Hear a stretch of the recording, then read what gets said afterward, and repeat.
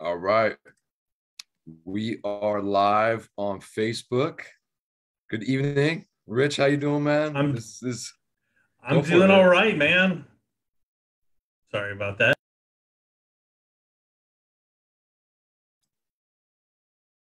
And I think did we lose Rich? I think we lost Rich. He'll be right back. We are back. This is Arach Media. We are back. It's been a little bit over a month. Uh, Razmig, how you doing, man? I'm going to introduce you properly in just a moment. Uh, wanted to take a moment to welcome everybody back. It's been a little bit over a month uh, since we've last broadcast, and here is Rich coming back in. Uh, when we are on the Cotting Wine platform, Rich is coming back in. Uh, we'll give him just a second here, but I want to thank everybody and Rich, you are you are muted. Uh, we want to thank everybody for for joining. I want to thank everyone for everyone's support over the years, and especially uh, since last fall uh, during the war, as we were broadcasting nightly and then weekly, uh, and we finally took a month, a little bit over a month off and we are back now with our first episode since July. Rich, can you hear us? I can. Can you hear me? I don't know what happened. Yeah, we have all been experiencing intermittent uh, internet issues. I've been having that at the office, and uh, you know, it's crazy how you know we are so dependent on this technology now, and, and yeah. how quickly it can throw us for a loop. But thankfully, uh, I'm back, and uh, so hope I didn't miss much. But um, so no, no. Anyway, yeah, yeah. Um, yeah, so uh, Rich, let's well, let's just give everybody. We'll let people trickle in. Want to thank everybody for tuning in tonight. We have a special guest, uh, fellow Bay Area local, doing some great work in Artsakh um, since the war. Um, he's been involved in many things prior to the war, of course, as well. We're going to hear about his background in just a moment. But Rich, let's give everybody just a quick rundown of what you and I have been up to, and we're going to welcome back Greg soon. Greg is busy working on wine harvest time for Cotting Wine, right? But Greg, why don't we, uh, Rich, why don't we give everyone a little bit of a update on what you and I have been up to the last uh, five plus weeks or so? Yeah. Well, I've been pretty busy. You know, I've had uh, stuff at the office, I've had stuff at home. I'm getting ready to launch my own business pretty soon, so I've got I've got just a lot of irons in the fire, and I've been pretty busy. Just uh, sleep has been a very valued commodity. Let's put it that way. So yeah, wow, wow, yeah. One exciting thing for me, and actually the the little bit of a hiatus and break from Arach Media that we had was actually helpful for me because I started an executive MBA program at Santa Clara University, and uh, it's starting to pick up quite a bit. I'm super excited about it, and I'll have more to share about that as we go on. But uh, it's it's good to be back on the show. Well, I know you you, you yeah, mentioned earlier, David, that you know we've been broadcasting virtually nonstop since the last since the last the war. Uh, and I think that that gives us a good dovetail into our guest, who's been doing some exceptional work.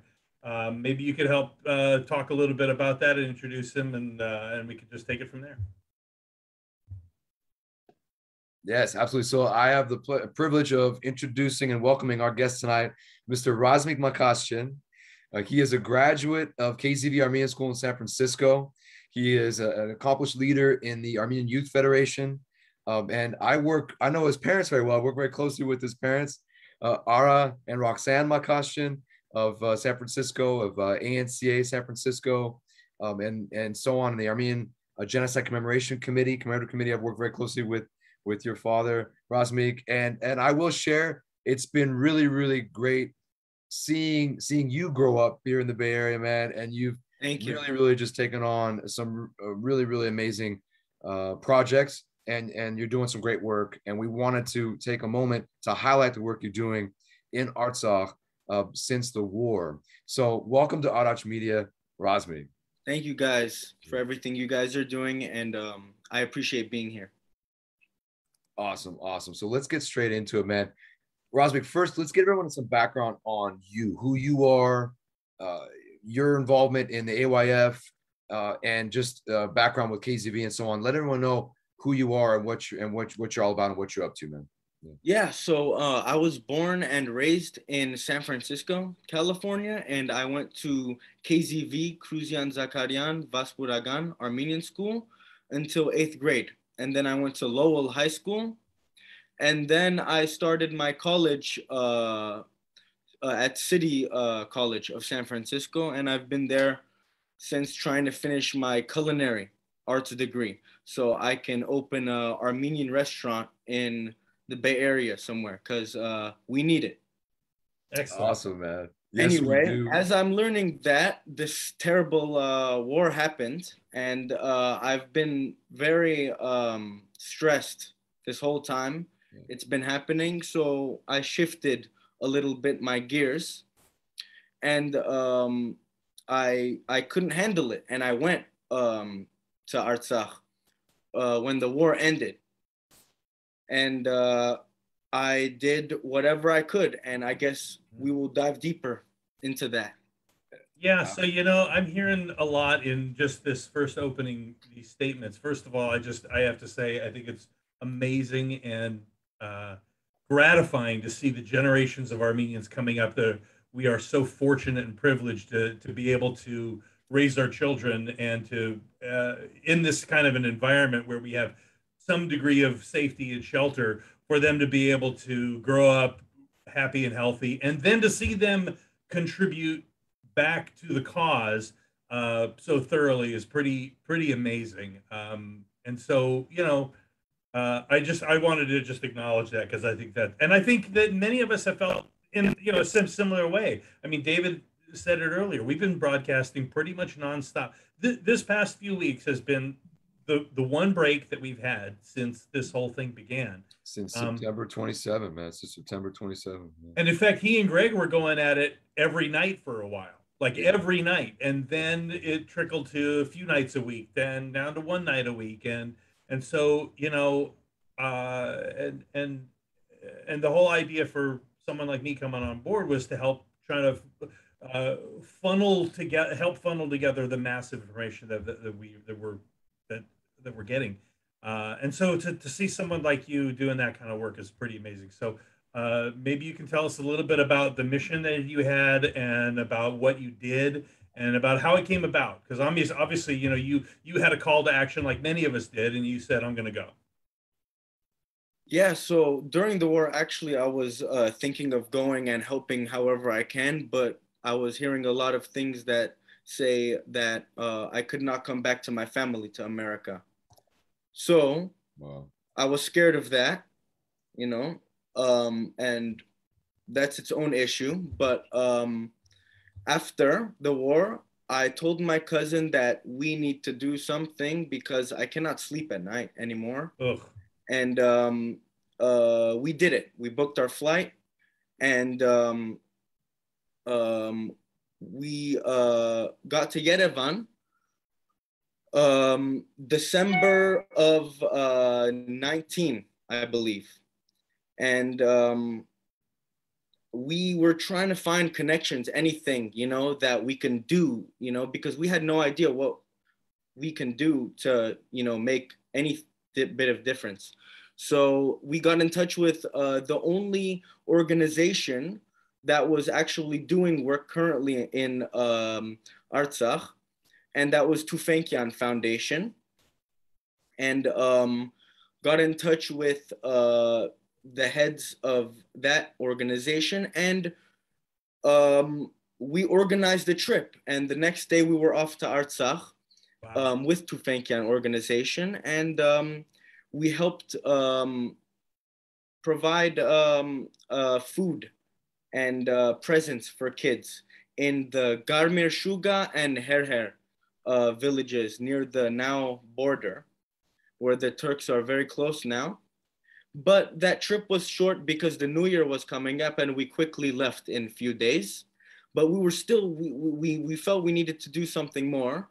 And uh, after about a week of in Yerevan, we were back in Yerevan, we said, um, we uh, we are going to find a way to go back.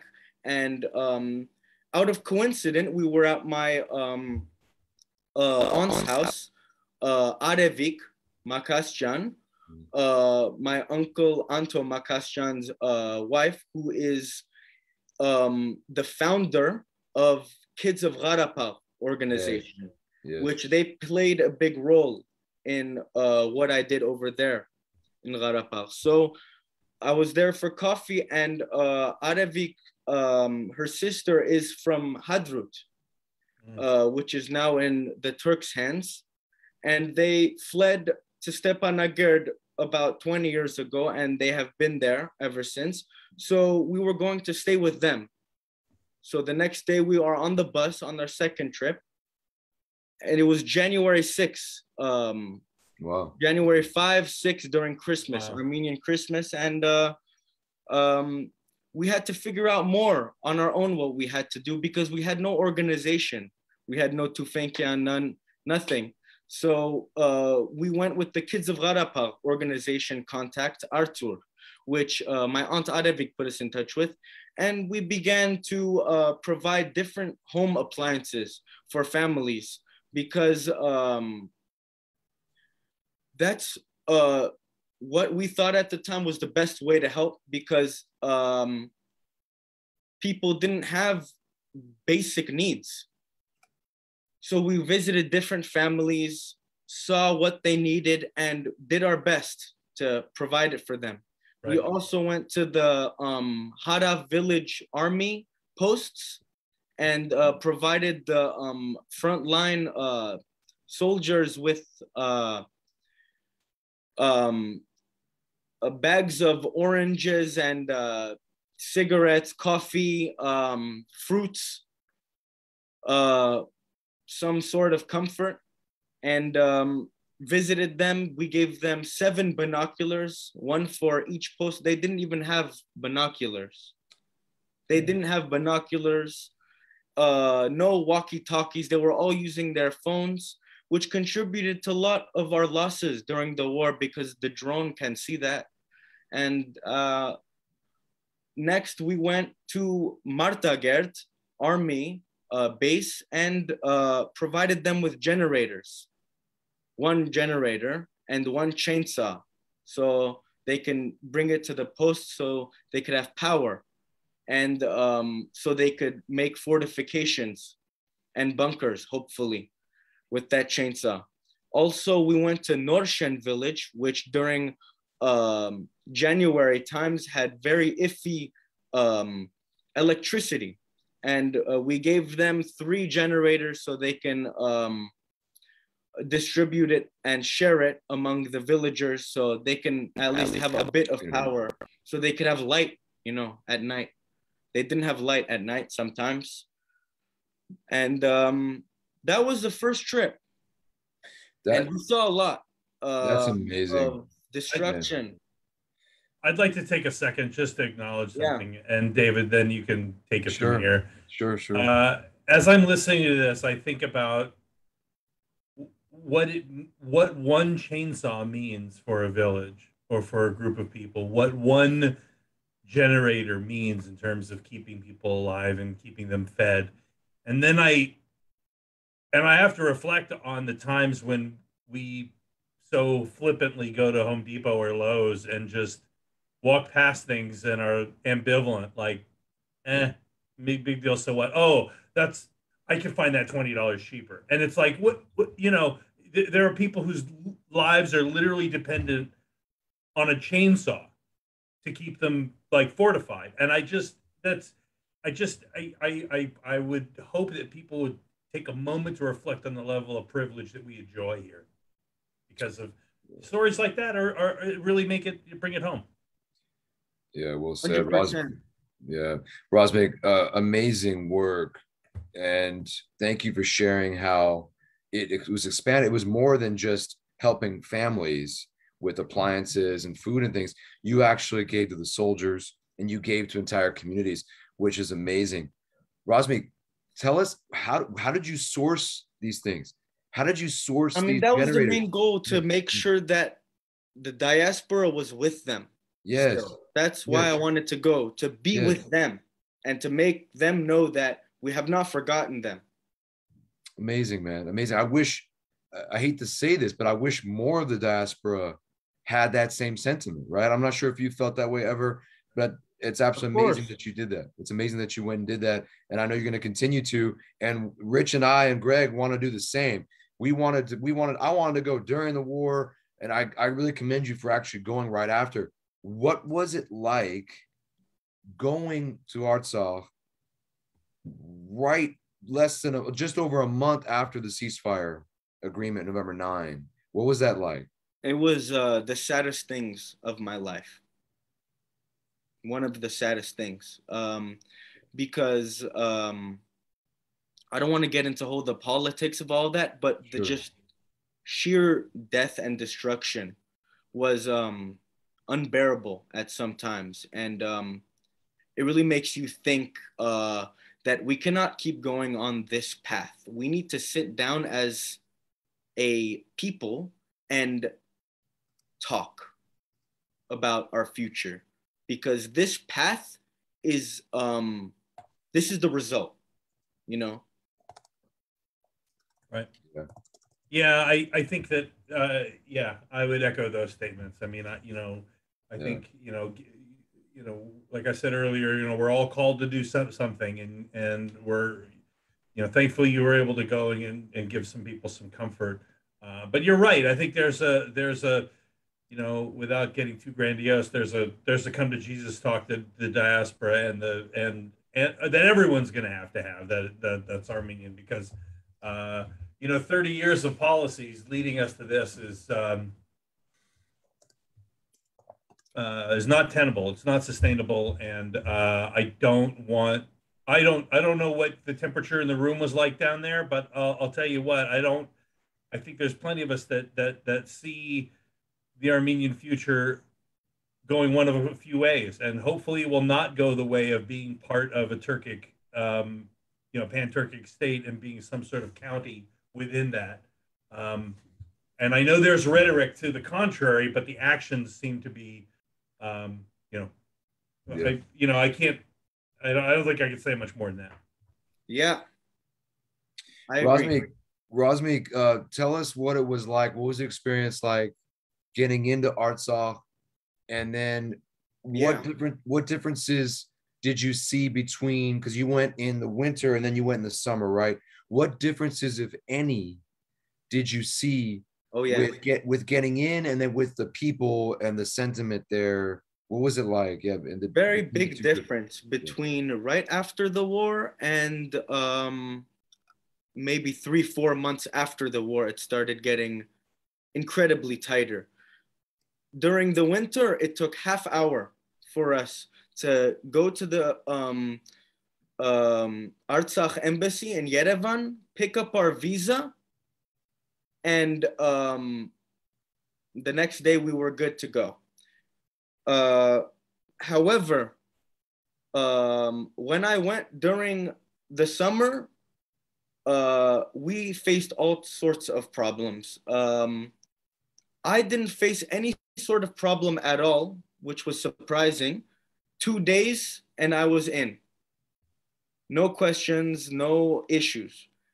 Everyone else, however, either got rejected or uh, ignored, which I found very scary. I don't know if maybe that was the last time I could even go and visit Artsakh. That's the level it's become because they are doing everything now, currently, to not let any foreigners in. And foreigners, as in anyone without an Armenian passport. I have no idea how they let me in.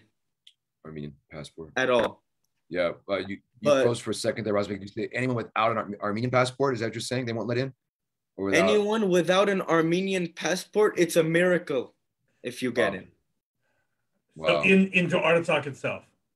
Yes.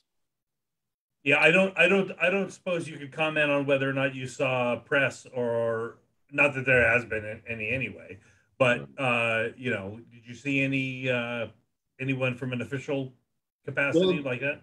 This summer that I went, I was the um, one of the only ones with holding an American passport that was in Artsakh. Um, and there was no press at all. But during the winter, there was much more uh, flow. They were going in and out of Artsakh as they please. For some reason, people thinking that the Turks are uh, pressuring the Russians to say that the foreigners cannot come in anymore. And that is why they aren't, aren't letting any more people in. but that's just rumors. I don't want to um, sure yeah, get into that because no one knows what's going on still. After a year, it's been after the war, no one still knows right what has happened or is going on now. So when you were there, did you see a lot of Russian uh, presence, and and how was that received? Uh, you know, do you know? Could could you could you comment on anything about the relationship between the Russians and the native uh, Armenians who were in Artsakh? What's the temperature in the room like there? Well, there are about eight to nine checkpoints just to get into Stepanakert. Hmm. Uh, and they are um, heavily fortified checkpoints. They aren't just road roadblocks. These are um, these are like mini bases. So really? they're they're here to stay for a while, for years. Like like con, like con, like con, construction and turrets and stuff, or what? Like, did they build like structures? They they seem like permanent structures. Yeah. Wow. They're there now, and they don't seem like they are coming back. Um, but um, manned by who? Manned by the Russian peacekeeping forces. Okay. Yeah, a new commander was just uh, installed there for the Russian peacekeepers as well. We'll get to that in the news. Right. Um, Razmig, how did you source the appliances, the food? I mean, it's amazing, man. It's great. I mean, you don't you don't i don't recall hearing about a lot of organizations or individuals doing that kind of work but you're you're absolutely I think David's uh... vital. People need refrigerators, yeah. they need generators, they need chainsaws, they need these things. How did you get them? That's amazing. We got them at discount from various stores, which our contact Artur had built beforehand from the Kids of Gharabagh awesome. organization. That's why I keep emphasizing that Kids of Gharabagh organization, my aunt, because um, it really helped a lot, those discounts. You know, we couldn't have gotten all of that mm. stuff. Um, so mm. we got it at a regular price at regular appliance stores. They have them out there. Uh, one, for example, is called Elsa. They um, have vans and they ship it out to the family. They mm. follow us and uh, we are happy to give it to them because we do visit them beforehand and we do see the circumstances that they are living in. And it is not good. Yeah. Yeah. Yeah. This summer we did a few different things than appliances though um which we can get into whenever um sure. Go for it man. Share it. Uh, sure. yeah. because it was different this summer i would say than the winter. The winter we did more you know, toaster ovens, uh, washing machines, refrigerators, um, visiting the army posts, doing all of that kind of stuff. Um, now we shifted more uh, sustainable things, uh, like our chicken project that we uh, did. We purchased around 360 chickens and we drove them out to uh, a village in the Askeran province of um, Artsakh. And there are a lot of refugees there from uh, Madaris, Hadrut, um, Aghdam, Kelbajar, everywhere they are there. And um, uh, we thought chickens were good because they can uh, lay eggs. And so that could, you know, get people to, you know, get back to work. And, you know, be a little more sustainable and uh, that could help them in a better way than maybe just uh, a washing machine or refrigerator.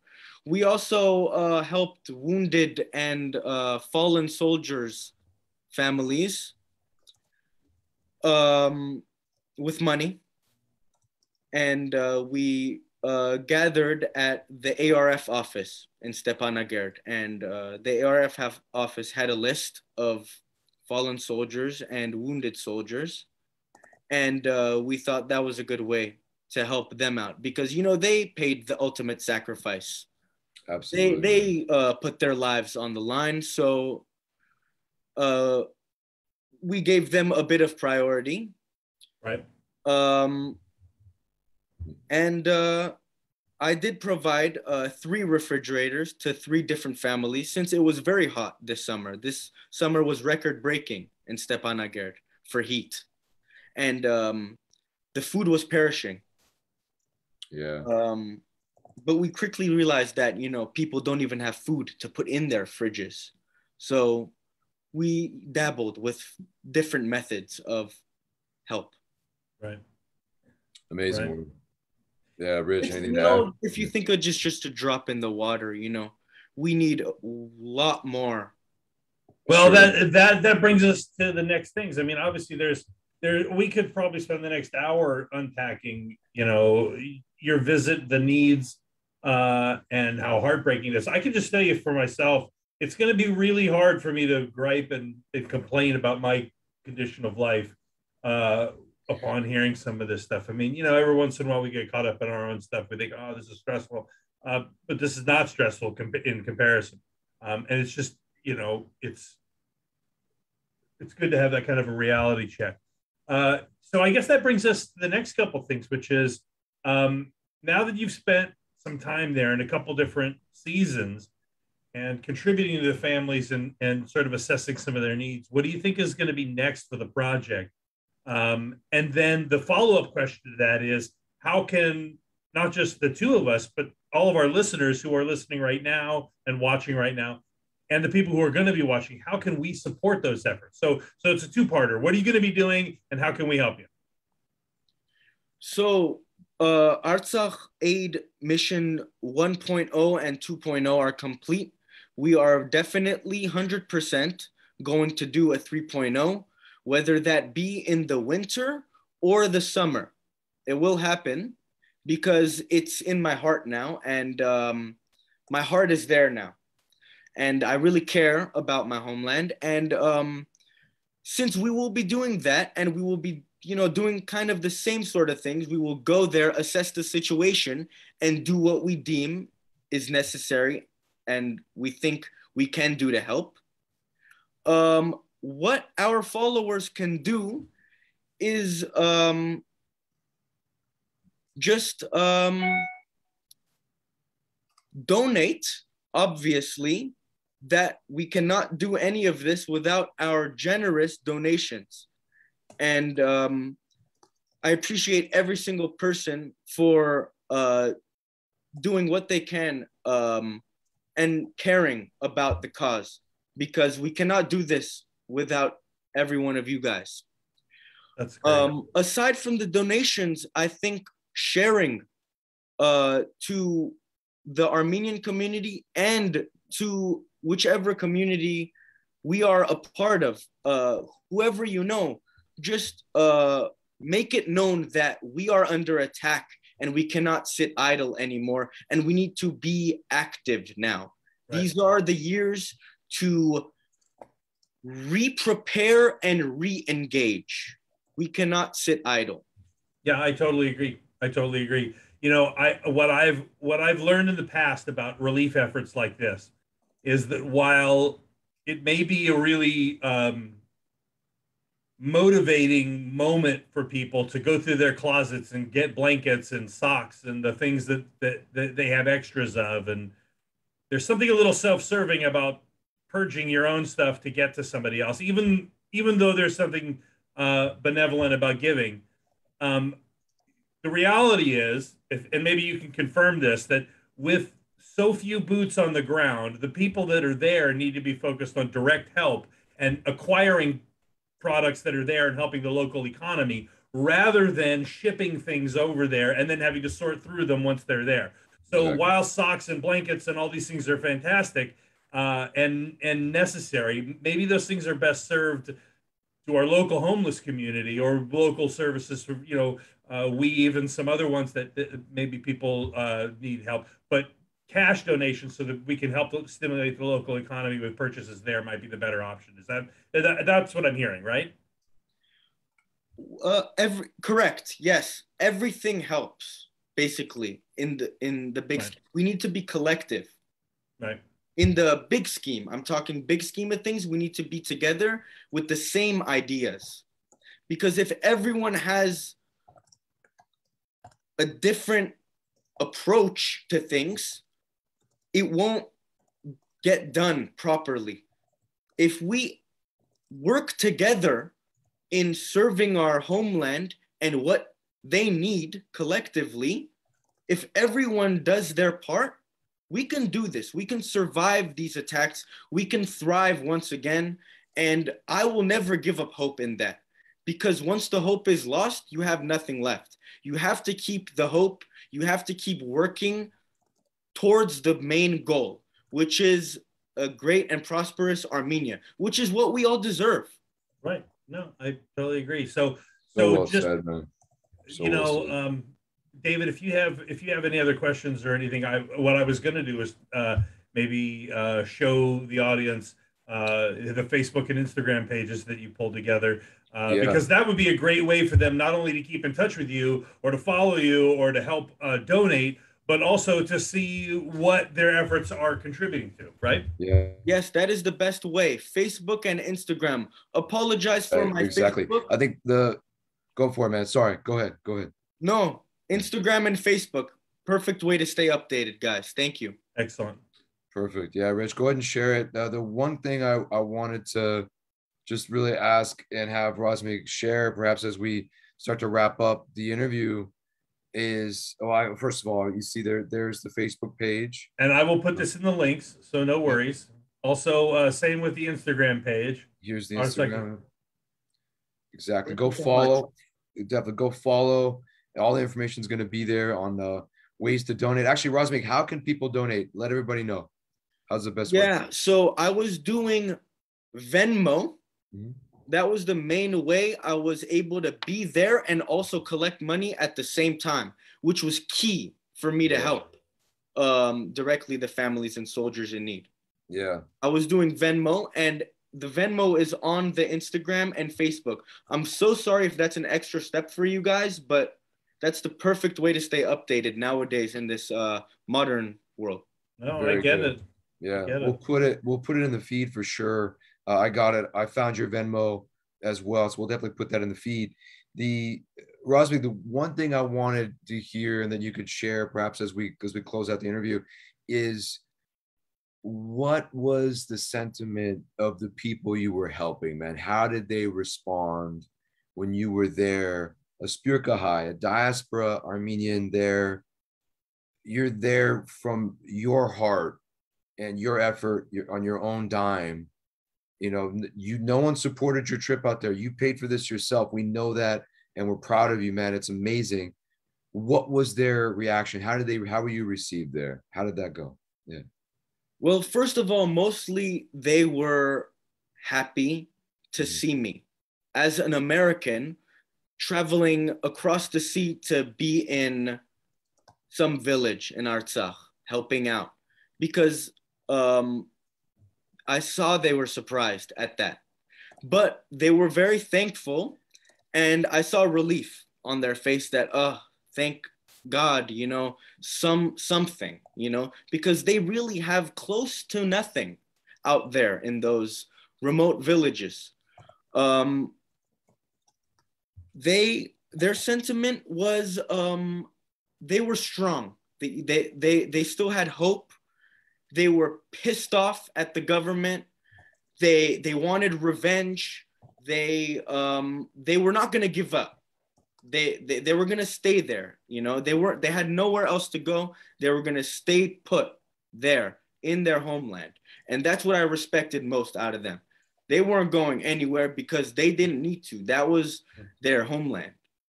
That is our homeland as well. And uh, that's why I felt so with one when I was there with them. And um, I'm just glad I had that opportunity. Well, I'm glad that you created that opportunity. It, it wouldn't have been possible without each one of those donors. And I would mm-hmm. like to say thank you again to you guys. Absolutely. Razmig, thank you so much for joining us. Thank you for sharing. Thank you, thank you for sharing all the details and just your recollection of everything is amazing. Just how detailed you've you've been and everything you've shared with us tonight. Great work. We are super proud of you. You're a friend of the show. We'd love to have you back in the future, uh, perhaps with your cousin as well. Uh, perhaps let's keep in touch when you're getting ready to go for 3.0. Yeah. We'll, we'll have you back and we'll talk about it. Uh, and then hopefully you can help raise raise some money on the in, in the process. So yeah, we'll be in touch. Yeah. Arach Media, we'll be in touch. I'll be on the Instagram updated as well. 3.0 is coming, guys. Thank you all for everything. You guys have a good night. Thank you. You too. Take too. care. Thank you guys so Thank much. And keep Take care, keep up the good work. Thank you guys. good night. Good night. Amazing, amazing work, man. This is- Yeah. Yeah, it's it's amazing and humbling. You know, I mean, I said it earlier, but it's true because you know you, you you've got this young kid who is, uh, and I say young kid because the older I get, everybody's younger. Right, Uh, right, right, right. um, Yeah. But you know, I mean, with that much fire to to go and and to and to help uh, so It's- selflessly, it's just yeah and it's just it's really really great to hear his passion his fire his drive right. uh, and to see the man he's become I've, I've seen i've seen Razmig since he was a little little child you know in the community because Right. i've worked so closely with his parents and seen him around kzv and around the events in the community and so it's really amazing to see the work he's done and i'm so grateful he shared it everybody that's watching thanks for tuning in we have a really great crowd watching live if you're going to watch uh, on demand, thank you so much for watching. You guys go to Venmo. If you're on Venmo, um, it's at Razmig dash Makasdjian. That's at R A Z M I G dash M A K A S D J I A N on Venmo. We'll have it in the feed. It's probably already up there. Rich doing a great job with that. Thank you so much. Go there, give as much as you can so uh, to help get him ready for 3.0 Artsakh aid mission 3.0 their trip coming up in the and you know the great thing about and you know i know that that some people may have a little bit of reservation about giving to an organization that they don't know much about uh, but let you know uh, let me just let me just say this about about small young organizations like this. You've got a kid who has very little overhead so the money is going to go to the people. And and you know we we, we have you know we have a pretty good idea of how this child was raised and how and the family that he was that he grew up within and the community that he uh, came up in and his heart is in the right place. And you know we, we really believe he's doing the right work. So you know just you know do what you can because these people need it. Um, like i said earlier we're all called to do something.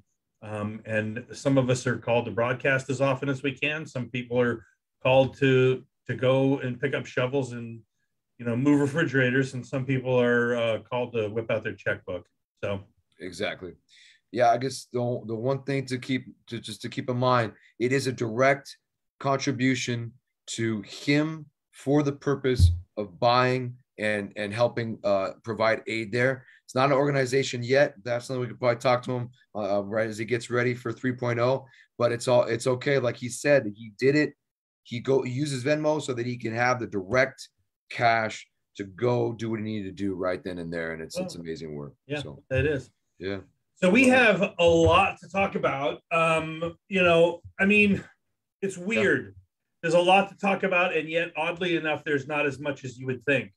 Um, we've been gone for a little over 30 days, and um, and the and the odd thing for me is that while the news kept trickling out, um, we're still having this. There's maybe you can help confirm or deny this, or maybe push back on me on this. But it seems to me like on one hand we've got news percolating here and there, we've got suppression of it or it vanishes, and then we have this dual nature of what's going on with people either going to Armenia and Artsakh and acting like like nothing's going on. And I don't understand how you could how that how that how those realities are coexisting. Right. I just don't understand it. Right, right. There's definitely this this feeling of dual reality in the sense that you see people traveling. Now, look, you know, maybe it's not fair for us to criticize people that are going there to to tour or going there to visit family or going there to enjoy themselves. I have numerous friends that have been in Yerevan or in other parts of the country and they've gone to enjoy themselves. But I feel like it like you said, Rich, there does feel like there's this dual reality happening because there's that, and then the border regions and Artsakh now you know, that's one big change since last time we were on. The provocations and acts of aggression from Azerbaijan and Turkey have continued. It's actually been six weeks. We're now we're now six weeks since we were last on, Rich. We're back on six weeks later, and it's been continuing the provocations and acts of aggression.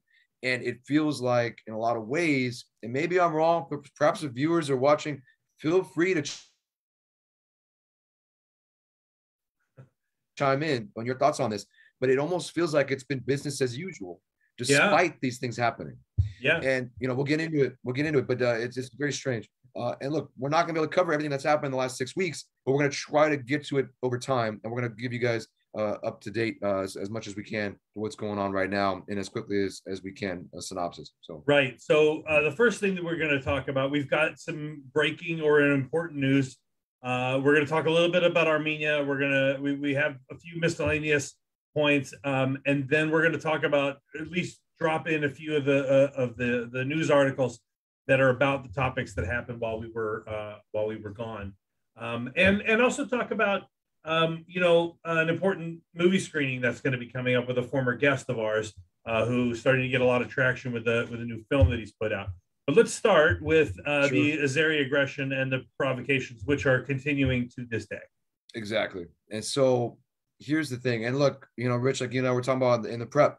I'm gonna take portions of articles and and literally read them to everybody, and you and I will talk about it. I feel like that's going to be the best way to make sure we're we're covering what's going on on these topics, right? So one of the big changes or main changes, at least from my point of view, and Rich, perhaps you could share from your point of view.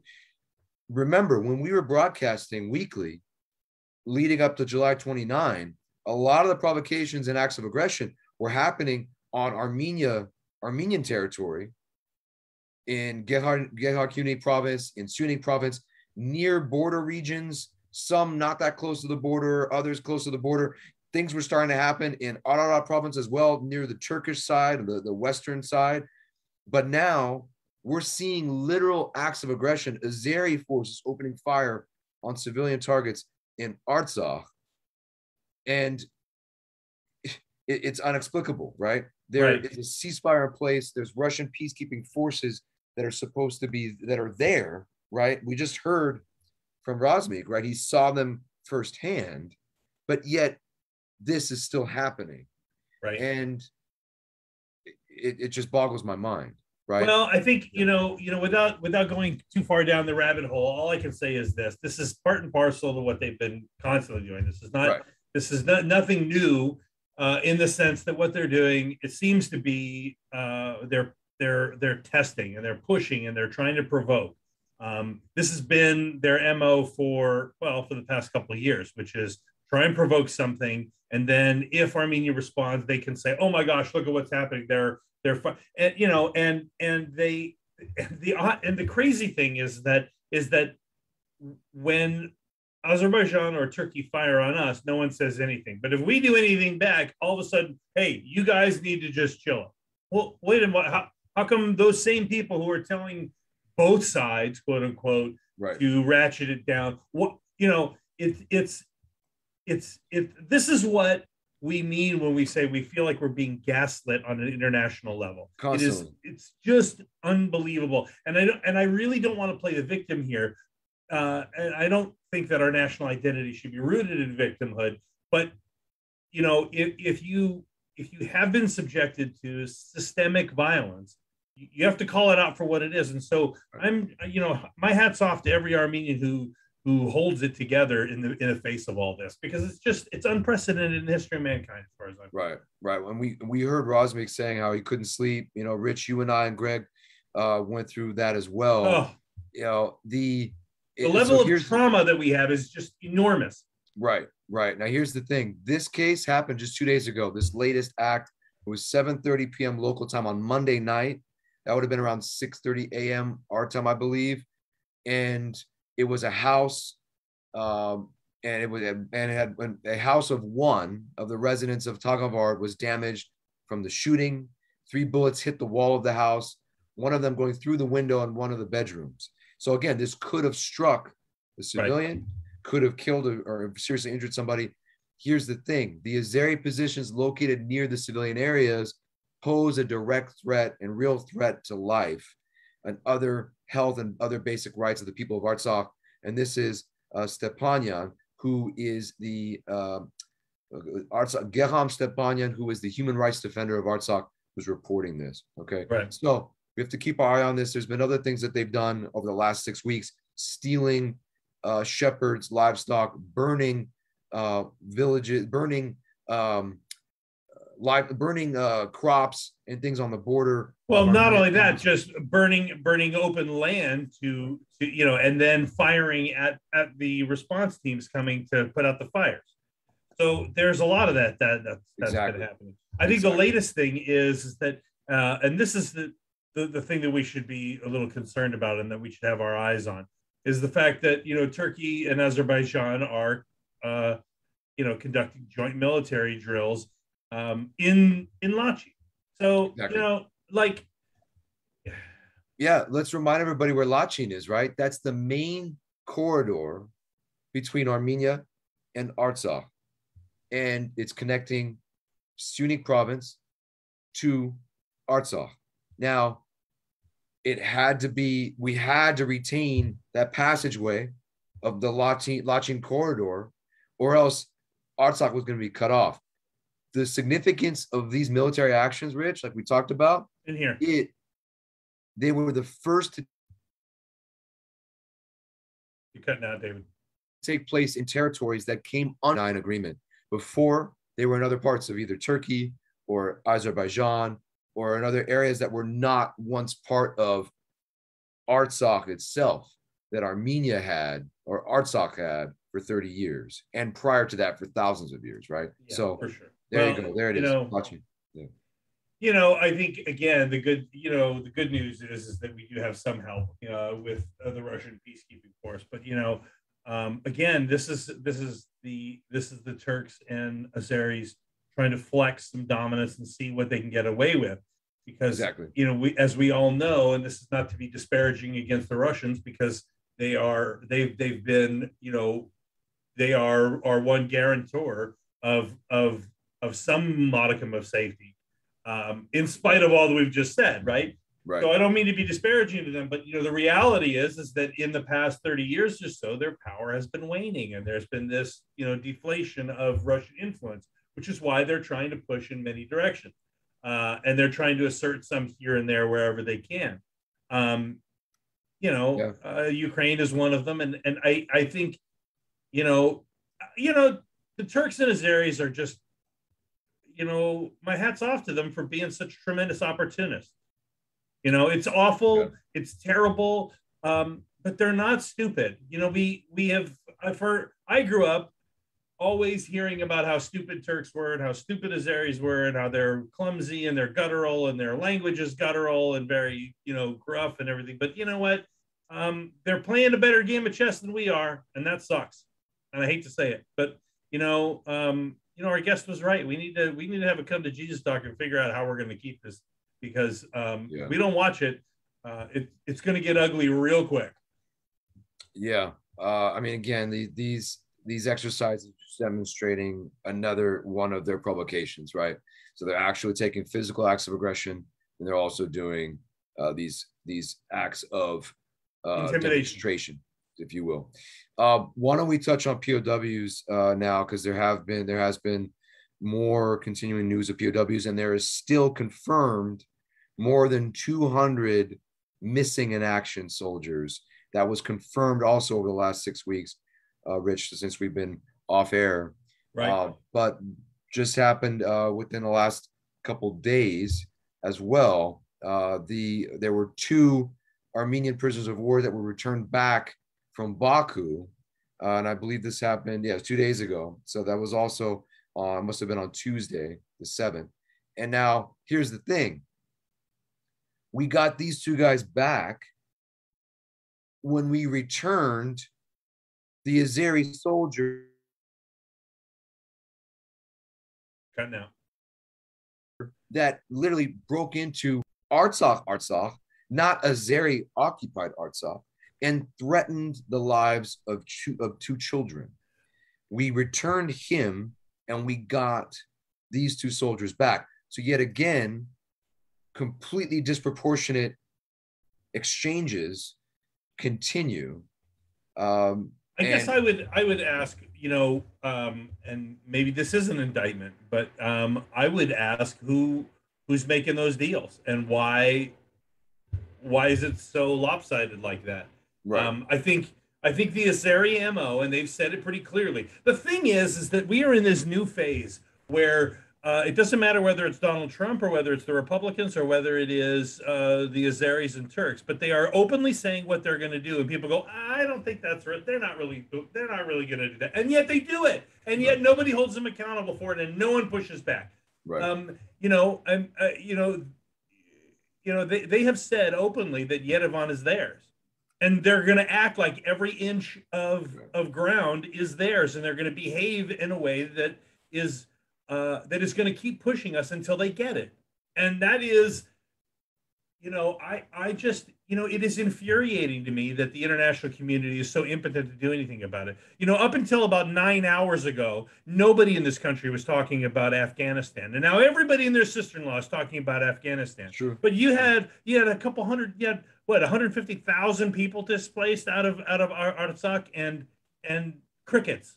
Nobody said shit, and that's just ridiculous. And I don't mean right. to curse, but it just it, it, you know I think we're at the we're at the point of um, this being more than uh, there's something going on that I that I, the, yeah, the I mean, Rich, radio we, silence is just well. Well, we've talked about it like a lot, a lot right? It, uh, geopolitics, geopolitics of the region, uh, just really uh, have a muscle, a muzzle on things.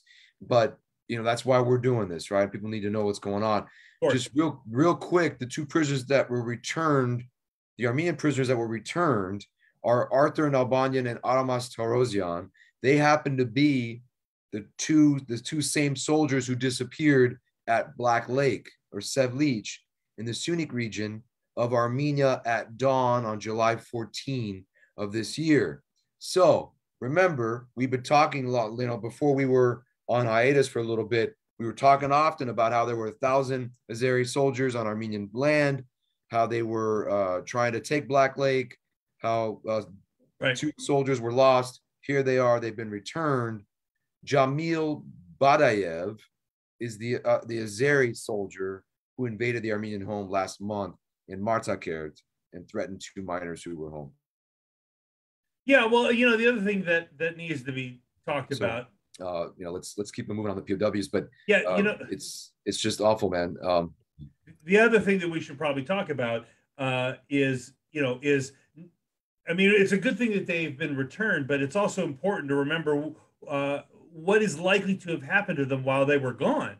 Uh, you know, we've got a situation where it's not like they're being held and they're given coffee every few hours. I mean, the, these these these men and you know are being held uh, as prisoners of war in a very, you know, barbaric way. Um, yeah. So this is Arman Tatoyan, the uh, ombudsman for Armenia. He is actually the most favored, at least according to a poll during the election time, the most favored politician, if you will, of Armenia, and rightfully so. This man is nonstop, and actually, he's prepared a report, public report about the Azeri acts of torture against the Armenian POWs. We're going to share the link. It is extremely detailed and it's extremely graphic information that is shared. So it's just very, very strong trigger warning for anybody that actually reads the report. I've bookmarked it. I plan to go through it at some point, but this is very, very traumatic things that are happening. But this man has done amazing work recording it and making this public report that he is going out and sharing with the international community that you you mentioned, Rich, which we have seen just completely unacceptably inactive this entire time uh, and continues to be, it feels. Um, so, but we're grateful for the work he is doing, he is doing, and, and for preparing this report. And we're going to share it and make it available with everybody. Yeah, it's, it's up on the feed already, and I have to say, you know, this is unprecedented. Like, I maybe it isn't unprecedented, but it certainly is a big deal uh, you know, the fact that uh, an official document like this has been is is is being distributed and right. able to be distributed uh, is a big deal because you know, usually these things get uh, maybe handed out at a UN meeting and nobody else sees it or nobody else hears about it. Uh, yeah. So, just one thing to keep in mind, Rich, uh, you're right. Like it, then it should be more visible. I, I commend Asbarez for including this link on their on their article. Uh, Arman Tatoyan's predecessor, excuse me, uh, the uh, Artsakh um, prior ombudsman, Artak Beglarian, also produced one during the war about the uh, the war crimes and about torture. Uh, this is one that's it seems to be just very very comprehensive as well from the Armenian ombudsman. The one thing of note, and this is again trigger warning. Uh, I'm going to say it's a trigger warning. It may not be to everybody, but according to the report, Rich, Azeri special forces reserved the most cruel treatment toward veterans of the Karabakh Liberation War in the 1990s, the war that we won in 1991 through 94, and the April 2016 four-day war, which was which just preceded the founding of this very podcast, Arach Media. So um, it's interesting. I mean, that's it's uh, disturbing to hear that. Um, so, but it's important to know. Well, I mean, you know, we, you know, there shouldn't be any mistake who who our enemy is in the way that they treat us, and and right. and so, you know, you you you don't necessarily negotiate with a rabid dog. You you contain it, and then you try and get it back to health. And if you can't, um, well, then there are consequences. And I, I just, I, you know, I don't, I, I don't, I don't know that I'm trying to draw any like de- definite parallel other than to say that the the the the enemy that we are dealing with has been continually provoking uh, and is backed by people who have a history of continually provoking, as we all know because we're all the descendants of it. So you know, um, yeah, Turkey, right? Yeah, yeah for sure, yeah. for sure. Um, and so the other part of this is that you know now you know we we we are getting a little bit of international pull perhaps not as much as uh, we'd like. But you know, while Yerevan is is is blasting Baku, um, you know, Moscow is trying to call on Azerbaijan also to return the POWs. Um, right. But, you know, the but the reality, and I I just I hope that this is going to get some traction. I hope that they're going to listen. But I I just until I see plane loads of men coming back and a, and a full disclosure, it's going to be really hard for me to to to to see this as another as anything else other than just more circular discussion. Right, right. It feels that way, right? I mean, remember what over the summer, earlier in the summer and late fall, we were seeing 15 POWs at a time, of course, in exchange for completely disproportionate mine maps, minefield maps right. of the territories of Artsakh that we lost and things like that. But it is, to your point, important to see that these discussions are happening, but we need we, there needs to be much more rapid action and this whole diplomacy there is no diplomacy here uh, but we even see in our own country right rich in our own state even uh, politics are a very long game but pows should not be pawns or political pawns that in itself is a war crime and it needs to stop but you see here armenia's new foreign minister Ararat Mirzoyan, you know, uh, right before we we were on hiatus, we talked often about how the prior foreign minister who had just taken over in November, Ara Ayvazyan, had stepped down prior to the election. There's a new foreign minister, Ararat Mirzoyan. He met right the he met with Lavrov, the foreign minister of Russia, and uh, he said that Aliyev's assertions that Armenians are currently being held in Azerbaijan were captured after the November, November 9 agreement. Uh, he, sorry, man, I'm rambling. He denounced the holding of the POWs and promised Russia's active involvement in getting them back. So, well, I certainly hope so. I mean, you know, the good news is, is that we've got you know, Russia's got a new commander uh, of their peacekeeping, uh, you know, contingent, yes. and that's super important. I, I, and you know, to to, and I want to make sure everybody sees this, um, you know, but to to to remind everybody, you know, of course, you know, we're you know, diplomacy is is the, the problem is is that while we want diplomacy and we want to work things out, we want a long-term solution. The acts of aggression that are happening are are happening faster than the negotiations can squash it, and that's a problem because exactly. people are dying and people are being displaced and the stresses and this is deliberate. This is being orchestrated, so it's not like just some accidental issue. One hundred percent deliberate. One hundred percent deliberate. Uh, so yes, a new commander just took over. So it's interesting because I believe it's been it's been less than a year since the peacekeeping forces came in, right? Right after November 9. Uh, so it's, it's gonna be interesting to see how how often they're replacing their commanders of the forces, how often are the forces, the, the soldiers themselves being uh, switched out, right? I guess this is like a new base for them, just like US has bases all over the world. Russia has these bases. And, uh, you know, it's gonna be interesting to me to, to monitor this. Also, in conjunction with this or around the same time, there were uh, military leaders.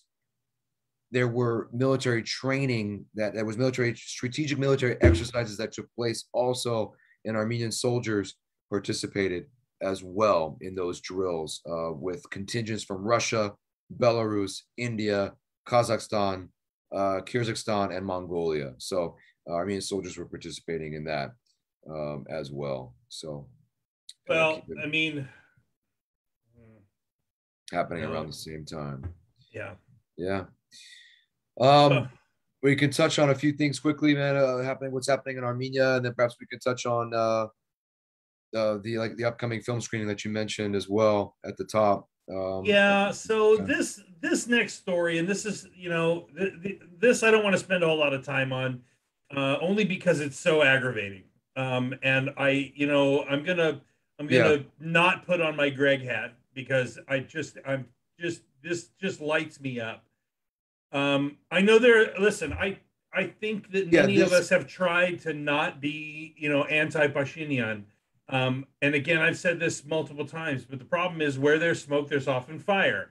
And here's a guy who is saying, you know, we're ready to talk about normalizing Armenia Turkey relations and relaunching uh, these railways and roads. Um, to what right. end? so that now we can have Turks and Azeris just driving through the area. Like, to, what, what are we talking about this for? Like, what what is this man doing? And right. I, I, I, I openly challenge any Pashinyan apologist to come and sit at the table and say why this is a good thing with no preconditions. Why is this okay? Why? Well, I mean, now here's the thing. Here's the thing, Rich. And I look, Pashinyan in the past, I'm not defending the man, but in the past he has said normalization without precondition. So hopefully that's still his MO, right? But to your point, what is really bizarre and concerning at the same time is how can we be buying into the what's the terminology I'm looking for, Rich? Is it bait and switch? Is it deflect, not deflection? Is it distraction? You know, Turkey is fully backing Azerbaijan. Azerbaijan is completely showing and, and taking on acts of aggression. How can we normalize relations when we are still at war with Azerbaijan that is backed by Turkey, right? How can we normalize relations? Now, look, trying to think what could be the devil's advocate view on this? What could be the opposite view on this right now? And the only thing that I could think of, Rich, and I'm curious what you think of it, we could spend multiple episodes on this, right? Is solely for the attempt at economic advantages or improvement. Solely. But how can you do that with with people that want you gone and you're still at war with, right? Well, it's you know, it is well, first of all, you're right. We could spend an entire episode on it, and I and many episodes. the time. Right. Um, but I've said it before without a Truth and Reconciliation Commission, without being completely transparent, honest, and without really atoning for the crimes that have been committed and continue to be committed and continue to be committed. That's right. With, that with are active. Backing, this is with, active. This isn't the, like yeah. The full military backing of the of Turkey for Azerbaijan, the full military. They just did military exercises on Monday, right? By the way, this news just came out yesterday, and Rich, the first person I thought of was our best friend, one of our best friends. You cut out. Really, I'm gonna cuss right now. I was oh, like, hold on, rewind. Gonna, Can you say it again because you cut out yeah. for a second? Well, no one problem. of my best friends, and then you vanished. Greg Nemeth, Greg Nemeth, co-founder of Arach Media, co fellow co-host. I thought of him right away because he's been talking about it for weeks, months.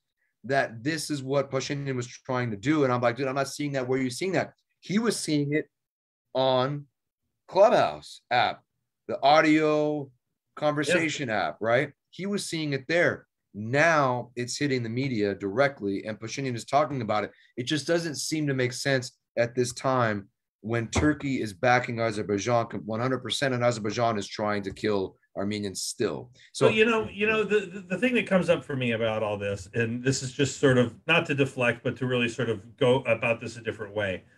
Um, you know, when Obama became president, one of the things he tried to do was to bring some of his rivals in. He wanted to be like uh, a little bit more like um, uh, you know Lincoln and yeah. bring in bring in his rivals and and sort of have have have different negotiations and have a different sort of leveling of the playing field.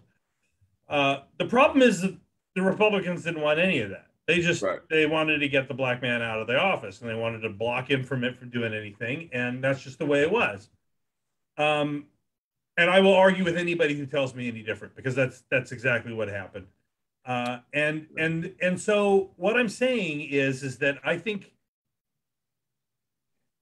best case scenario, the best case scenario is that Pashinyan really wants to do the right thing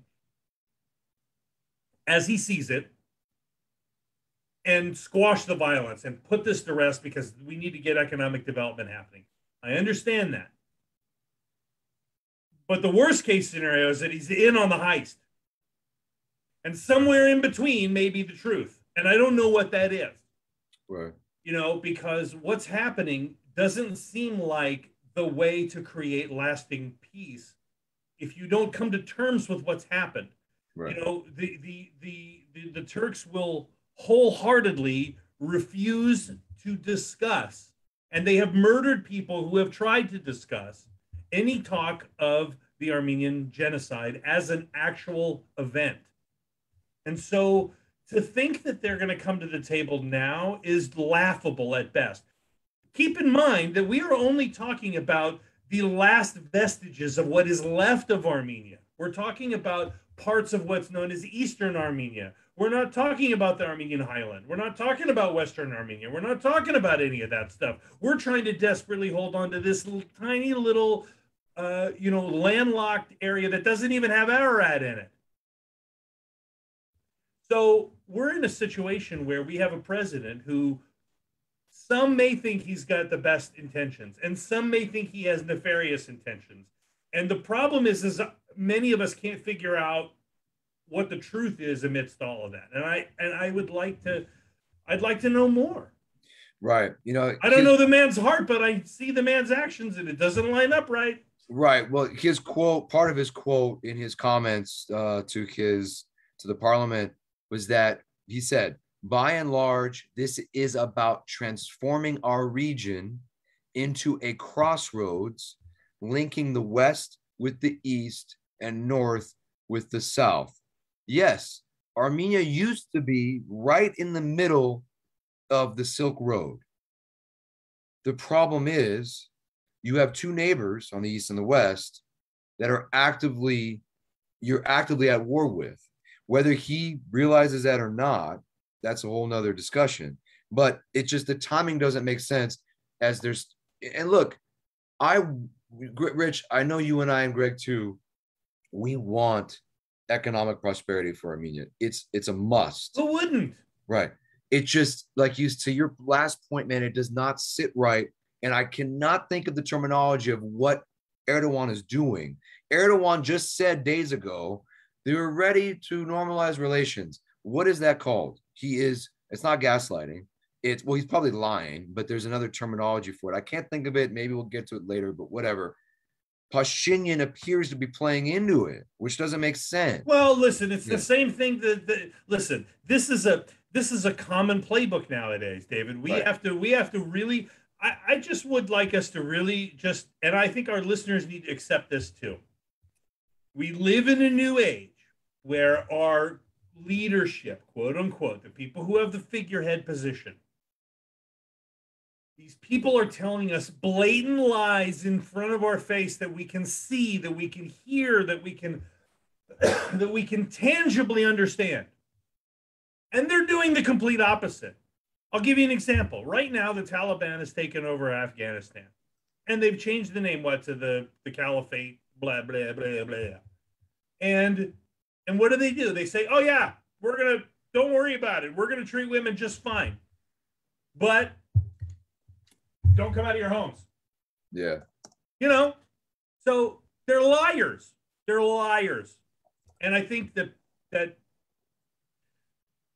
even if we could give Pashinyan credit for doing his best and trying his best and having his heart in the right place, which I can't confirm, the actions don't line up with the, the, the you know any sort of true long-term reconciliation. These people are actively on the hunt for us actively. It's not going to stop. Yeah. And we need outside our, intervention. Our, yeah, and to yeah. be honest with you, we need more than the Russians. Yeah, I mean, because here's the thing: the Russians, France, and the U.S., as stated in that Armenian report report that we that we just shared, and I'm, is on the feed, I'm sure, or will be the. They're all in favor of this normalization. So what happens faster, Rich? And look, I'm now I'm taking us on a tangent. We, we'll talk about this for months and months. Hopefully not, though. What happens faster? The return of POWs or the normalization of relations with Turkey and then the opening of all the borders and everything? What happens faster? So, like, I don't know because if you have, can US, you imagine? Can yeah. you imagine being a, a, an Armenian vendor in in Yerevan or anywhere? Yeah. Or or or you know who maybe you're a refugee from Artsakh who's now you know you, by the way they can't find apartments now. By the way, the money's running out. By the way, the winter's going to be coming again. By the way, they you know there, there there's there's thousands of refugees. There's people who are fleeing the homeland in record numbers because of this. Right. And so you know, and and then the Turks and Azeris know it. They're like, TikTok, we're going to take it all anyway. You know what I mean? So they don't care. They don't care because they because because Baku can hold uh you know a Formula One race track there. They right. can they and they, right. and, no, and nobody cares. They're miles away, like literally within walking distance uh, to where POWs are being tortured and they're having you know you know uh, damn near a fashion show. It's it's it's absurd. And and and so there are there are two things I would say, and then I, I really want to ditch this topic because it's yes. not going to go anywhere. Uh, this is the product of 30 years of not doing enough to bolster our homeland. This is the product of 30 years of, of, of administration after administration siphoning the money away from the people. This is a, this is a product of 30 years of not arming ourselves to the effing teeth. This is the product of three decades of inactivity and thinking that teaching our kids chess and and developing a, a, a you know a, an internet sector is going to be the savior of the day. It doesn't. It, the truth is, is that we have a, a, a kid who's under 30 who flew on his own money to go bring to go bring chainsaws to to villages so that they could survive. And you're going to tell me that that we couldn't do anything in the past 30 years? Like it's unbelievable that it's come to this. It is just unbelievable. And it is heartbreaking and frustrating because um, I know you and I have grown up in a comparatively privileged environment, and and our hearts and our minds are focused on um, doing the best for this nation. And I am just livid that we are even talking about any concessions with people who actively are trying to murder us and who are actively trying to provoke people in David, it's happening. It happened at KZV. It, it, it could very well happen here in Sa- Sacramento. I drive around with an Armenian flag on the back of my car, and people every once in a while, hey, is that the Armenian flag? Absolutely, yes, it is. Would you like to know more? You know what I mean? And Amen. and and that's what we got to do. But the fact that it's come to this, and we're talking about normalizing relations as a as a way of mitigating the damage that the same people have done to us, is absurd. It's absolutely yeah. absurd, and there's no conscionable way to have to to to to to, to justify it. None whatsoever. Yeah. None whatsoever. The, the, the timing doesn't make any sense. And um, as and and to further add insult to injury, to act to, to this parlays into the next subject, which is that the uh, you know, like I said, I don't know the man's heart, so I can't with certainty verify what's going on. But I can tell you that he seems very, very out of touch, as evidenced by this latest, uh, you know, situation here. We've got grief-stricken Armenians who are resenting the idea that the government is planning this lavish celebration. David, do you have anything to say about this? Yeah, yeah. One thing I, I want to share, I thought it was interesting that Azatutyun, this this source, is the one breaking this. Asbarez had it, you know, I'll, we'll say it live right here. Asbarez tends to lean anti-Pashinyan. Asbarez leans ARF. ARF was Kocharian, but they've been anti-Pashinyan throughout. Yet Asbarez had it, and Radio Free Europe, Azad had it, which you could argue, hmm, is it, it's funded by the US? Could it be pro Pashinyan? I thought it was interesting that they had that story. Um, and it is concerning. And I think we have to, yes, Armenia's independence is important. It's coming up September 21. Also, just quickly mention, we won't have to necessarily get into a whole story on it in a moment, but September 2nd was Artsakh's independence as well, marking 30 years of Artsakh's independence, 1991, September 2, 1991. And uh, sure, we've lost 80% of the territory, but Artsakh is still a territory and there's still Armenians living there. Yes. It's also, it's also important to know, and I'm just going to say this for all of our uh, Republican loving Armenians. First of all, there's two things for me to say. Uh, I want to get this out of the way uh, that we really try to be agnostic when it comes to our sources and our leanings. I don't care if it's left leaning or right leaning or center. I just want to know more information so we can disseminate it and we can figure it out and we can have realistic discussions about it. Um, so that said, as far as my own political leanings go, um, I try and keep that out of whatever we're talk- talking about here. Um, I I like to. I think I'm a centrist, not because um, I don't want to choose a side, but because I like to call bullshit on whoever deserves it. Um, and that's just my way of doing it. That said, I would I just want to say to all those Republican Armenians, uh, while I respect you, and e- even if you are all about uh, President Reagan because he was the one who said genocide in the midst of, in context of the Armenians, even though he didn't call it a genocide and all that. Um, you know, people give him a lot of credit for ending the ending the Cold War or theoretically ending the Cold War. It never really ended. Um, the reality is, is that it was Artsakh and Armenia breaking away from the Soviet Union that helped really create the big fissures and the big fractures.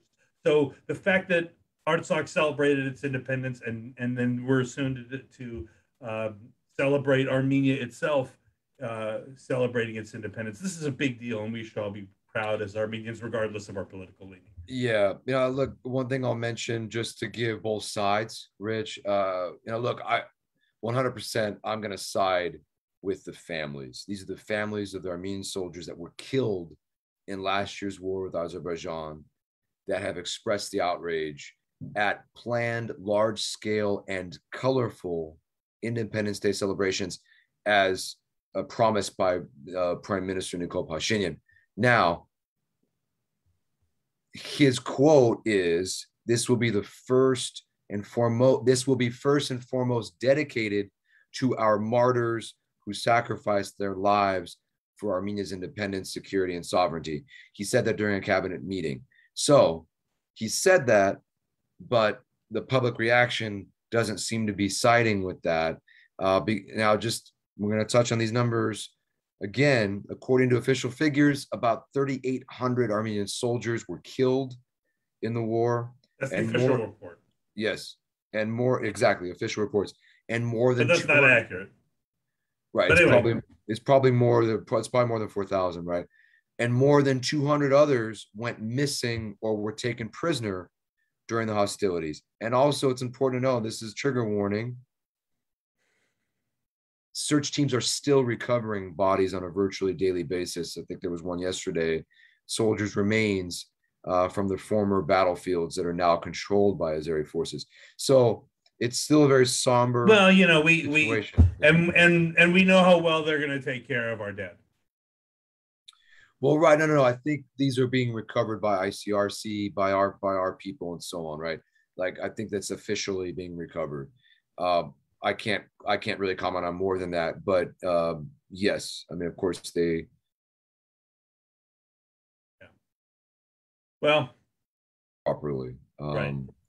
But anyway, I'm curious. You know, I'd actually want to put this out. The, the people that we have watching still would like to know your thoughts. We're not, we are not just about bashing Pashinyan and bashing the current administration. No. We want to know. I want to know our viewers' thoughts. What are your thoughts on Pashinyan calling for normalizing relations? That Armenia is ready to do that, normalizing relations with Turkey. And what are your thoughts on a colorful celebration for Independence Day on September 21, given the reaction from the families of fallen soldiers. I'd like to know what people's thoughts are.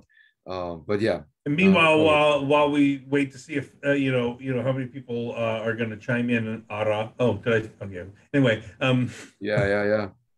Uh, either either live or later too. But yeah, let's let's yeah for sure. Here. Um, did you want to talk about the reservists? Yeah, let's just quickly mention it. I saw this come across uh, while we were on hiatus. The Armenia, Armenia, the Ministry of Defense of Armenia has react has activated reservists. Not sure how many, uh, but I think that that's very interesting. It does directly coincide with the acts of aggression that we're seeing on the border regions of Armenia, and on what we're seeing in in, uh, in Artsakh. So. Uh, I don't know your thoughts, Rich, but that does not seem like coincidence to me. No, I don't think it. I don't think it's. Yeah, reservists have been. Sorry, go ahead, man. Sorry, sorry, sorry. I don't think it's coincidence.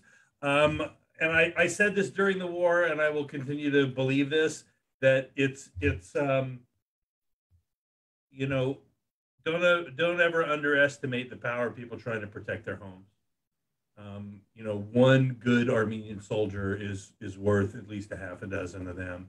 Absolutely. But, but the prob the other the, the the you know the the flip side of that is that you know when you have when you have reports of old equipment, when you have reports of not good training, when you have reports right. of, you know, chaos and lack of leadership, um, or at least challenges in leadership. Let's leave it at that. Right. Um, you know, will alone won't do it. You know, you I, I know in my life, um, as an as a person that has been in a sales environment, has been in an operations environment, um, a good ops person can easily out outdo a salesperson because they know what they're doing. Um, a salesperson who knows how to sell is fantastic, but they're hamstrung if they don't have any good processes. And what I'm saying is, is that you know the best armies in the world don't necessarily have the best fighters; they have the best organization, and they have good equipment. Yeah. I mean, I can remember this is this is a little 10, 10, 10, 10 second story. This gives you a window into the Armenian mind. Okay. I remember when I first told my father about System of a Down, because I uh, 30 plus years as a musician, and I'm telling my father, oh my God, there's this Armenian rock band. They're like heavy metal, and they're coming up, and they're they're they're you know they're touring the world. It's they're becoming you know a, a huge thing. And his first thing after watching the you know seeing the videos, besides like oh my gosh, it's, it's not his genre. But the first thing he said was, do, do, do they have good equipment? And I was like, yeah, yeah, Dad, they have good equipment. Of course they do.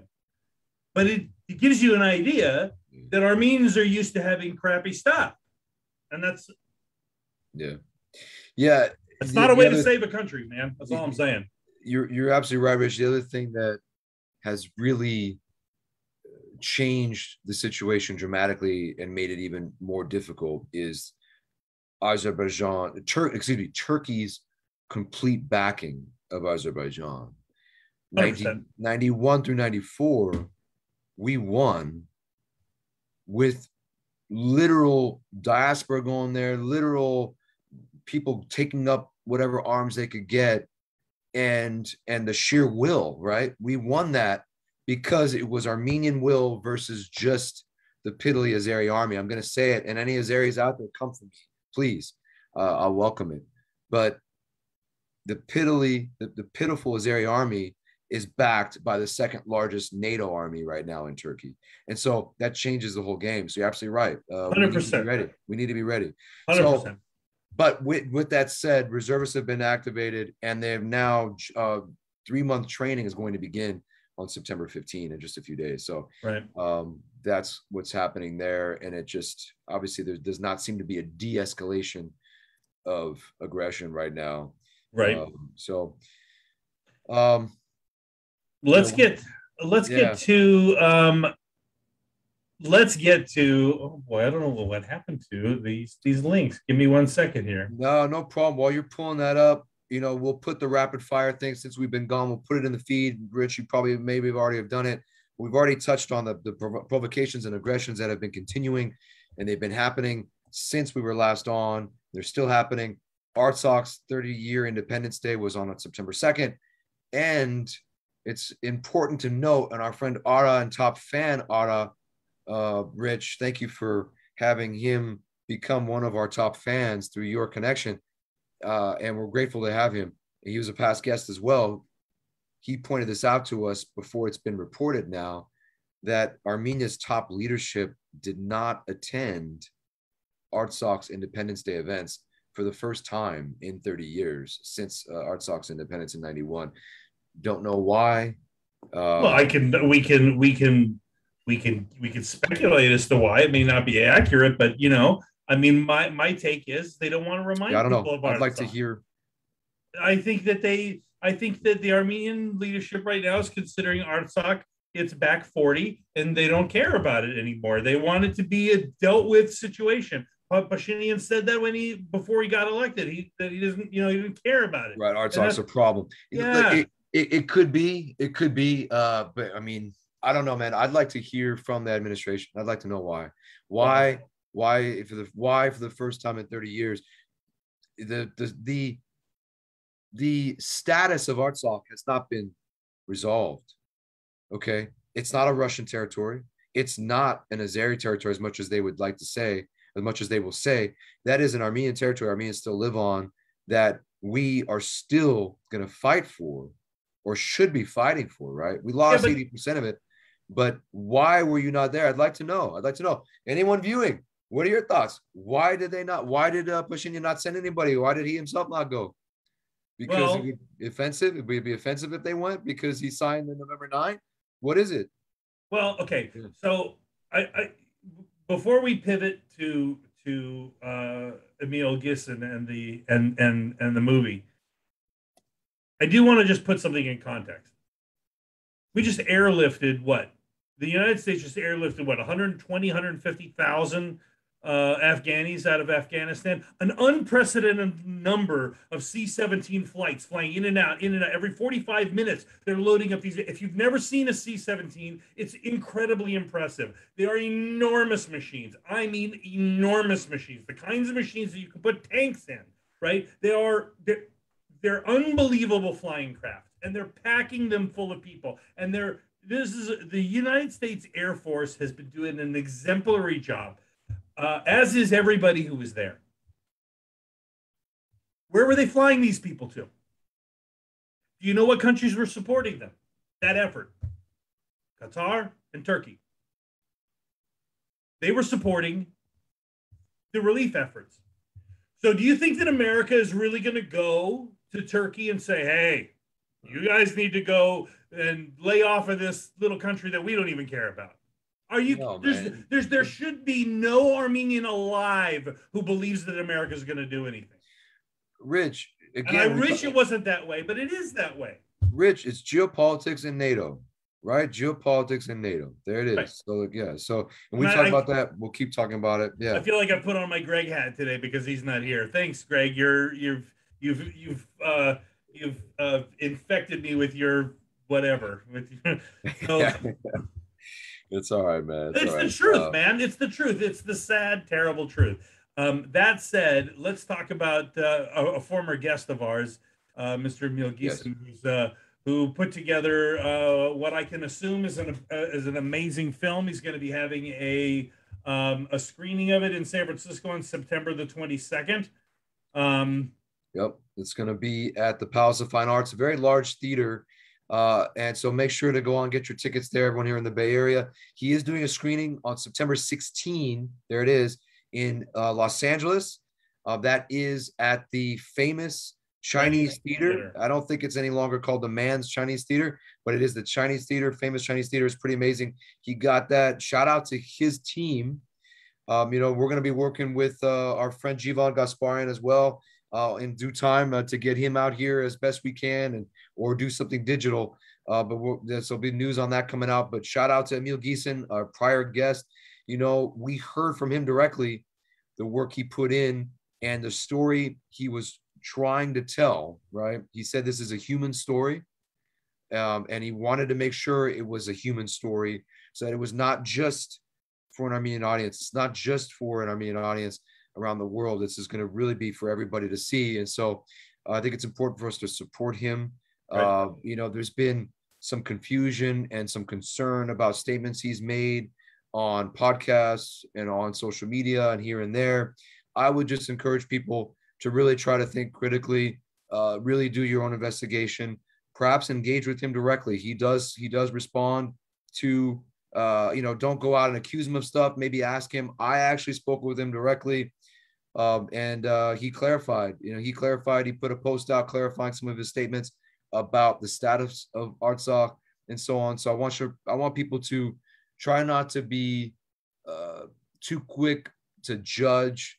Um, you know, no one's perfect, and well, I don't. I think I, yeah. I, I I know what you're saying, uh, David, yeah. and I I don't think that we need to syrup it up too much for for people. I only I, I, say that I I say that with all due respect to you. I'm just saying that yes. I think you know our audience is is pretty savvy enough to to to to to sort through it. I think I I, I think that that um yeah, I think that's about as much as we need to say about no, about right. his about you're his right. comments. Uh, right. because you know he is he's like anybody else who's trying to put put together um, some some content. I mean, how many other people have made a film like this about this? So I think it's it's it's important to to to go into it with as open as eyes as possible. And I, you know, I have spent my life being pretty hyper emotional, but there are situations when we need to, you know, reel that back in a little bit and try and look objectively. Um, I don't, again, I've said this about Pashinyan, I'll say it about Gieson. I don't know the man's heart, so I can't really judge him. Um, I can only judge what he's doing and see see what it, you know, how it how it comes off. And hopefully, hopefully this movie is a um, a, a telling of the story in the right way. I don't even know what the right way is, but other than to say that I believe that the Armenians have the high ground um, uh, intellectually and uh, and morally and ethically, um, I think that's important. I think that's really important. Um, and I would also say this um, for those of us Armenians who, you know, when, when, when David, when you talk about him making this for a non-Armenian audience, that's super important because I don't know about anybody else, but I have spent years and years and years contributing to other communities because I know we're going to need allies. And I can't go through life alone. Life is 100% a team sport. It absolutely is a team sport. Yeah. I mean, each of us have got someone to draw on, whether it's our parents, our siblings, our friends, our, you know, uh, extended family, someone that we can be in some sort of, you know, relation with. And and our community, as isolationist as we can be, as gregarious as we can be if you can break through that, as outgoing as we can be for each other, we need to do that with other people too. Because the Emil Giesons of the world may be hit or miss with some people, but he's telling a story about us. And he's telling a story that people need to know about.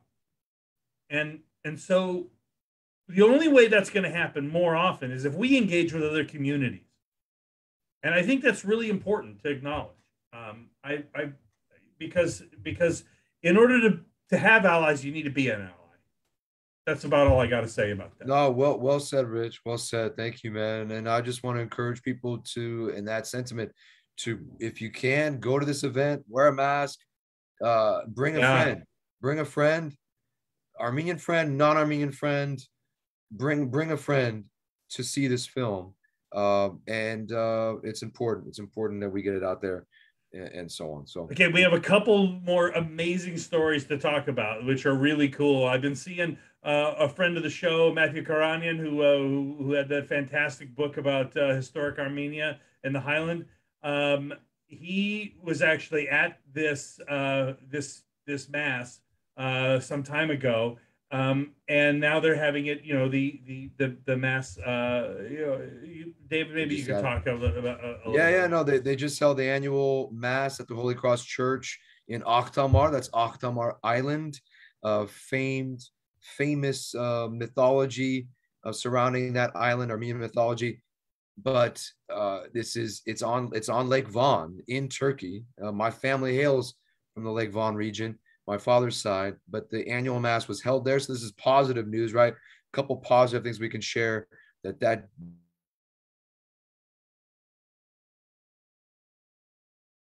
Uh, but hey, what's that? I think you cut out there for a second, but okay. Sorry, sorry, internet might be weak. Can you guys hear me? Can you hear me, man? I, I can now. Yeah. It, the annual mass was held on Akhtamar Island in Lake Van, which is in Turkey, the very famed Akhtamar Island. So uh, that's one positive thing we can share. Uh, I think the other one we can share is from the world of sports, right, Rich? Uh, yeah, for sure. I just want to, I want to, I want to show for those of you who don't know this image. Uh, this is Akhtamar. Yes. This is this is the church on the island in Lake in Lake Van. Yes. Now, beautiful. I can't imagine anybody looking at me with a straight face and telling me that that Armenians have not been, you know, you know, committed to their faith for more than 1500 years, 1700 years. We've been doing beautiful work for centuries. Um, I just I feel so fortunate. Um, so you were saying about the World Cup qualifier. Yeah, Arme- Armenia's doing just just continues to uh, to impress and improve. I'm not sure what their FIFA ranking is yet. They were 90, which is amazing, right? Out of all the nations out there in the world, uh, and they just won uh, yesterday. Uh, not, well, excuse me.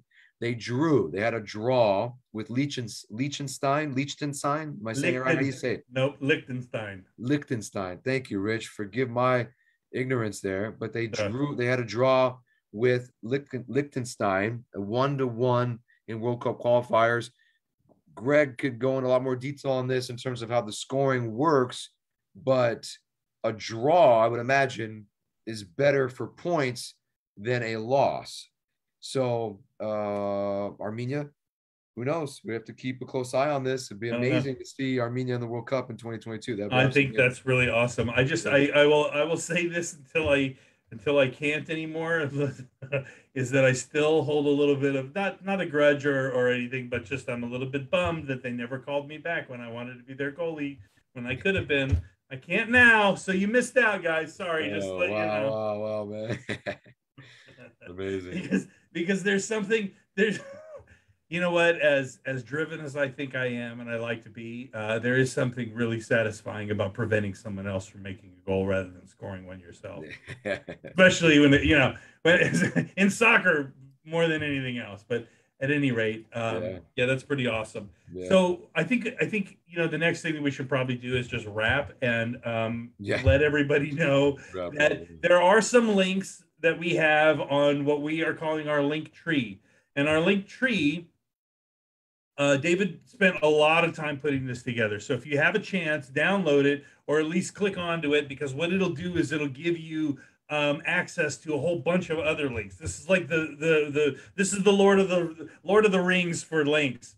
Uh, it's the it's the it's the link to rule them all. This is the one where you know you'll have the opportunity to uh, you know either get into the the social thing with uh, the links for Javon or for Emil Gieson, or if you want to do political advocacy.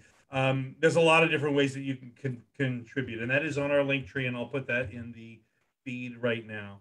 David, did you want to talk at all about uh, our upcoming schedule?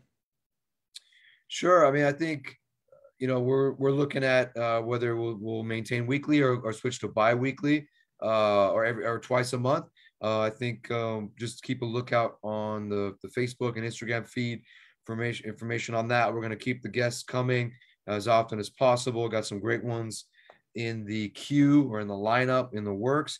Uh, so just be on the lookout uh, for upcoming episodes, and we look forward to welcoming welcoming Greg back as well when he's done with the the harvest time of wine. So and uh, and and remember that some fantastic Carin wines will be coming out of this.